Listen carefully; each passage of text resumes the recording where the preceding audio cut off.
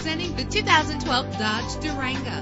Everything you need under one roof with this great vehicle with a reliable engine connected to a smooth shifting automatic transmission.